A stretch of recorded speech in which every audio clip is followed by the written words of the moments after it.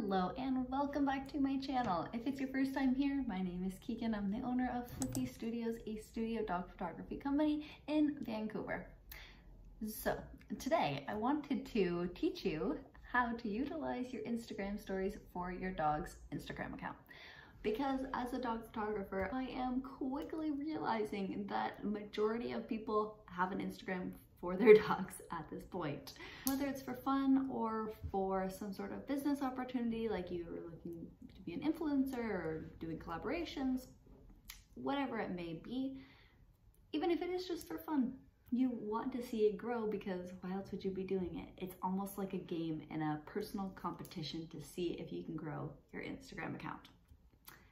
So a good way to do that is by utilizing your stories. A lot of people focus more on Instagram stories today than they do on posts because it's quicker and easier. You get flash photos or flash videos and it really appeals to people's short attention spans.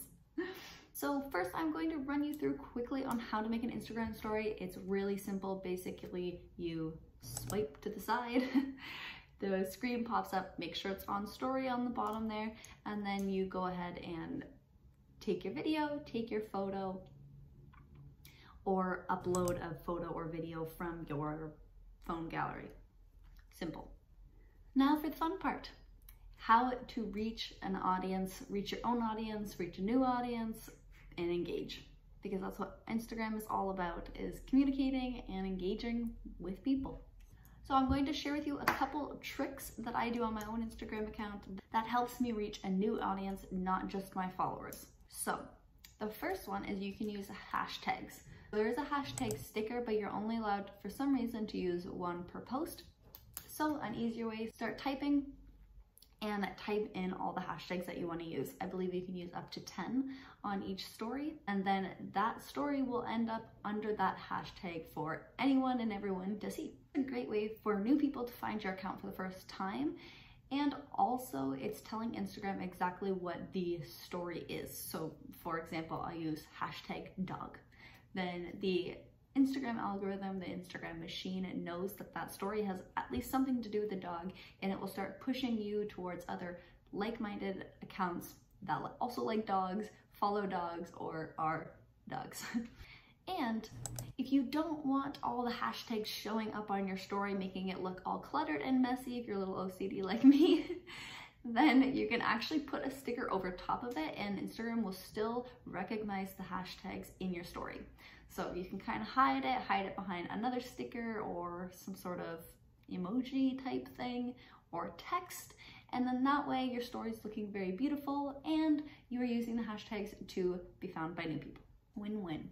Another good trick is using the location sticker. So it's very similar to using a hashtag, but with the location. so if you use the location sticker and you type in, for example, Vancouver, BC, if you go to that location, if you search that location and click on the stories there, you'll see every single person who's used that location stamp in their stories. It works similar to the hashtags where Instagram will start pairing you with people in similar areas um, that use the same location and so on. Another is to tag people.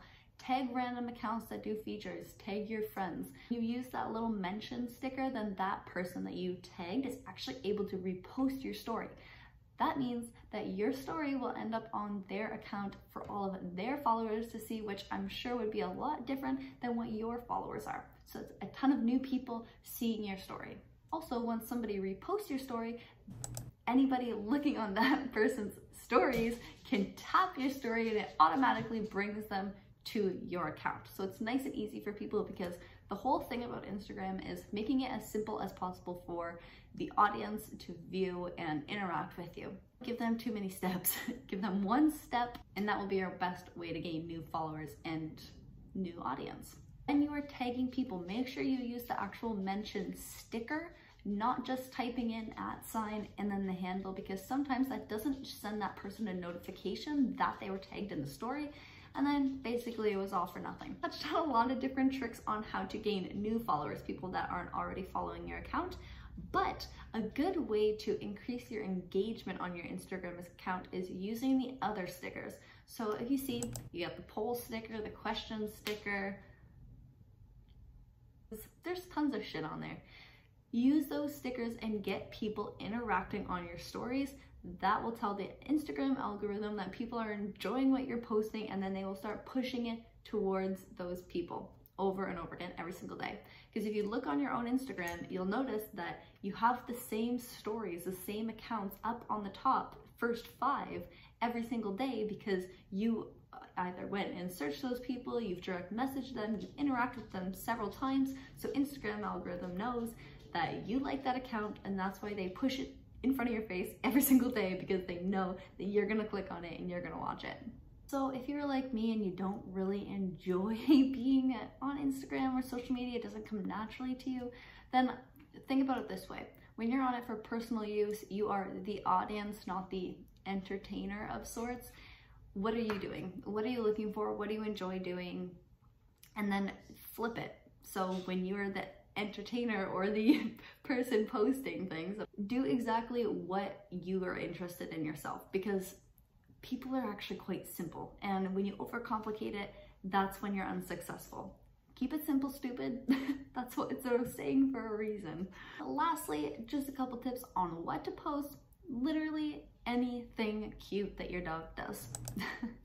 it doesn't really matter what it is. The, I find the more relatable, the better it does because people like relatable shit. So yeah, take some pictures, take some videos, and just have fun with it. That's what social media is supposed to be for, right? If you like this video, make sure you hit that thumbs up button as well as subscribe.